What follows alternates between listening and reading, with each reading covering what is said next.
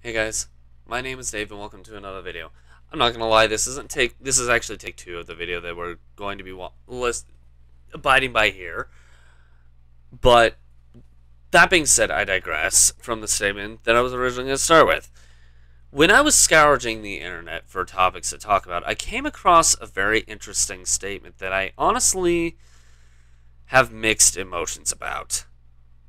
The statement itself was couples are wrong to stay together for the kids. This is something very interesting to say, because quite frankly, it depends on the couple. So, are they wrong to do so? That really depends. First of all, the child who was born, was it intentional, as in consented by both sides to the degree? Well, first of all, before I say this, what finish what I was going to say, this statement bases off the idea that the couple argues all the time. This doesn't happen to everyone.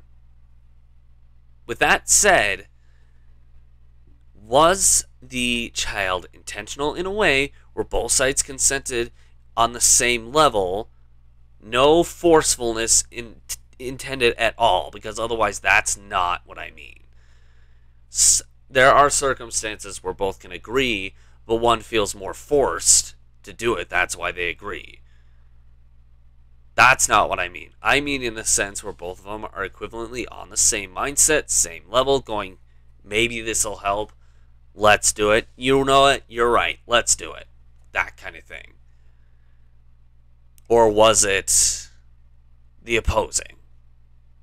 That is one of the bigger things that can really impact whether this statement I just said at the beginning was actually true or not. Couples are wrong to stay together for kids? Yes or no? Well, first of all, let's go off of this first thing. It's kind of a tree of different scenarios.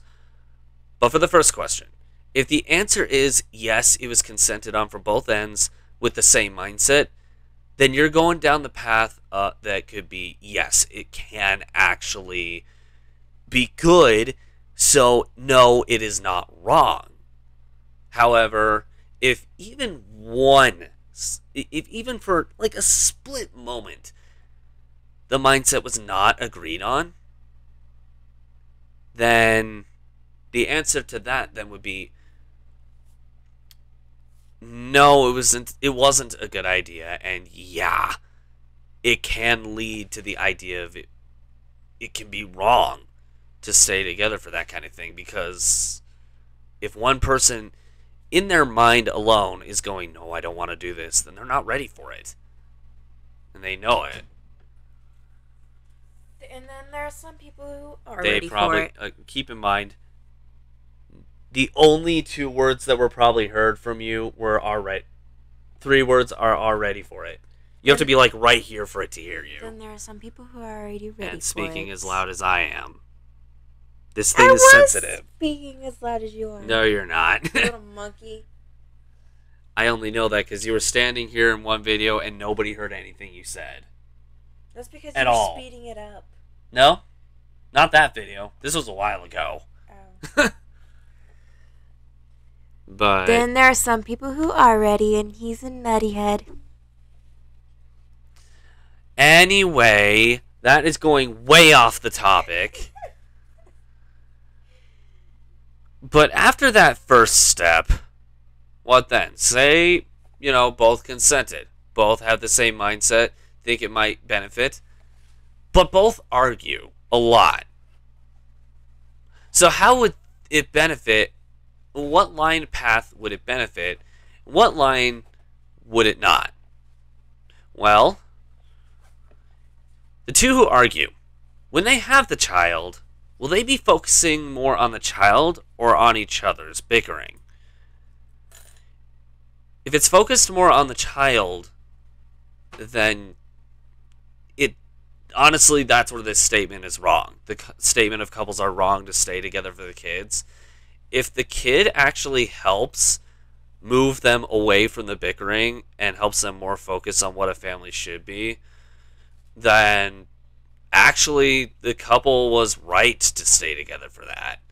However, if the opposing happens where um yeah, there's the child, but what if the couple doesn't really focus on that and is so delved into the arguments that are happening to the point where the child is nigh taken care of. The only reason they're able to survive is because the only part of the brain for these individuals who are able to make this happen are the ones who are just like is the one part where it's like feed it. Okay we're done. Back to what we were doing. Change its diaper. Okay we're done. And yes i'm intentionally saying it. That's what happens when someone has a mindset like that most of the time not all the time but most of the time. However if people my point is when people start bickering and never focus on the child that was had then yeah couples are definitely wrong to stay together for that kind of thing because they're not even together for that thing it's it's not for a child at all yes they have a child but if they're not focused on the child they're not even together for the child anyway This one kind of hits close to home because my mom was a single mom that raised two kids for a long time. Yeah, that's if you guys want to hear more on that, and she's if she's willing to talk about that, just let us know in the comments, and we can have a separate video later on for that kind of thing. But I guess my when it comes to this kind of thing, all in all, it's really a 50-50 role whether the statement is actually true or not. Couples can, if the statement originally said couples may instead of are, if it was may, couples may be wrong to stay together for the kids, that would be a much more accurate statement. But just to directly go, couples are wrong, that's putting the assumption that every single couple argues and never focuses on a child. Ever. Which, bull honky. Because I have come across so many different individuals some of them have unintentionally gotten pregnant. Some of them have done it by, you know, intentional means. Some of the unintentional circumstances are, you know, out of good heartedness. Some of them are dark tales that we're not going to get into on this video. As I said, we're not getting into it. I don't even know if you guys heard what Pink Fox said. I'm going to request you don't repeat it if you didn't, but whatever. Anyway, it really depends on circumstance. I don't agree with the statement that was originally said when I found it. If it was reworded slightly to give more of a 50 50 role, then yeah, I would agree with it more. But the statement on its own is inaccurate. Maybe, maybe if you rewind far back en- enough, time wise, then sure, it might be more accurate.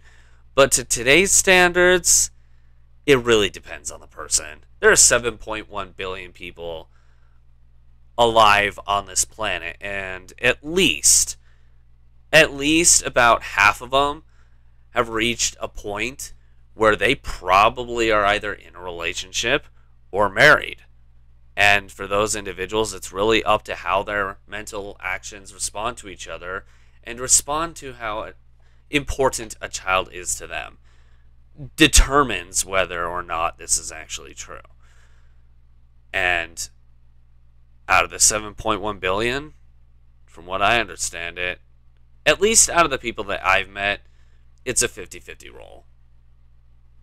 This comes from personality itself. Do the personalities match that kind of thing or not? But what do you guys think? Let us know in the comments below. Um, these are just kind of my own personal opinions on this matter. Some people might think entirely differently on this statement. Um, but this is my opinion. Uh, let us know in the comments below if you think differently or if you agree with what was said. If you like this video though, one way or the other, make sure to push that like button and so far you can't see it anymore. If you really like to consider subscribing to the channel. Got a suggestion for uh, something that you'd like discussed on here, or if you'd rather just, you know, see what other random stuff I can grasp at. I don't know. Let us know in the comments below if you have an idea. Want to check out any other discussion rant type videos like this one? Click the link on the side of my head where they're trying to take you to one of Uh, something over 200 at this point videos. These kind of stuff, this kind of stuff doesn't quite float your boat, why not check the video out on the other side of my head where YouTube will give you an idea of something you might enjoy a bit more. In the meantime, I'm gonna have. Thanks again for tuning into this video, everyone. We hope to see you guys in another. Bye for now.